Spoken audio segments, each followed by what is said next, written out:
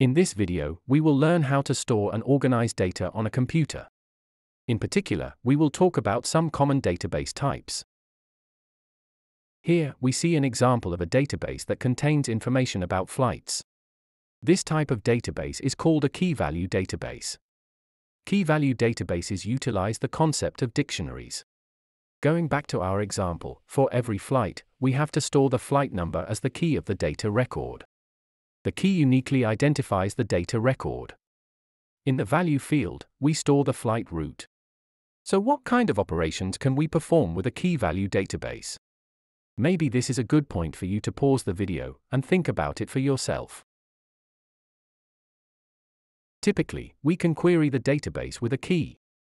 If we query our database for the key EDW176, the database returns the flight route, which is from Zurich to Antalya. What else can we do? We can insert additional data records. So here we are inserting the flight AF1415 into our database. Finally, we can also delete records from our database by their key. Here we remove the data record for key BA709. Key value databases are often maintained in memory to speed up operations. Popular key value databases are Memcached and Redis. Document databases are an extension of key value databases.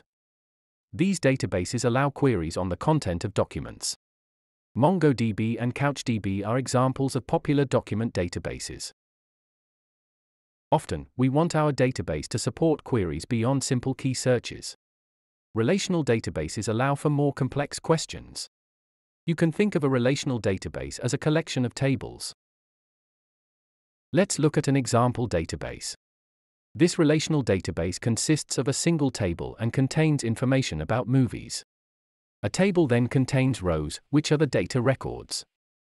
The highlighted data record is for the movie Jaws. Now, each data record contains the same fields or columns, that is, each data record contains the same kinds of entries.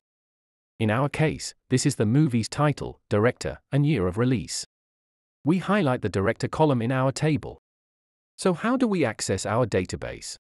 Relational databases are accessed with what is known as Structured Query Language or for short, SQL. Some people say SQL instead of SQL. There are some popular open source SQL database systems. Namely, PostgreSQL and MySQL. Typically, these databases run on a daemon process on a server. Client applications connect to the server and authenticate themselves with their username and password. Thus, multiple users can access the same database. Therefore, we need some form of concurrency control. Alternatively, there are some single user processing SQL database systems. One example is SQLite, which requires less configuration from developers.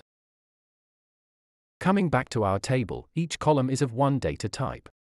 These types are specified by SQL. Can you think of some useful data types for relational databases? So let's go through the SQL data types together and see how many you identified.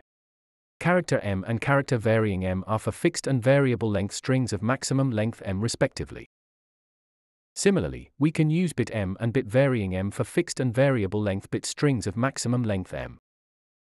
We also have numeric, decimal, integer, and small integer for fixed point and integer numbers. As well as float, real and double precision for floating point numbers. For points in time, we have date, time, and timestamp. And for ranges of time, we have the interval data type. We are now ready to create our own database. We want to create a database for movies.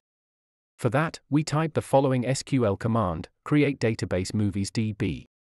When we execute this command, we create a database with the name movies db. Notice that all SQL statements end with a semicolon. So now that we have created the database, let's create a table in our database. We want to create a table that is called movies, and that has the columns title, director, and year. When we execute this command, we have created the table with the corresponding fields. Notice that the data type for the field's title and director is a string of a maximum length of 200. The year field is of data type integer. Our table is empty, so let's insert some data. We can insert data records into the movies table with the insert into command. We also specify for which fields we are inserting data. In this case title, director, and year. In this command, we are inserting two records, which we separate with a comma. When we run the command, the rows for the movies, Hancock, and Jaws will be in our movies table. We were creating our database from the command line. There are also some web-based applications for easy database access. Examples for PostgreSQL are dbeaver, Datagrip, and pgadmin. These applications offer you access to databases in a more intuitive manner.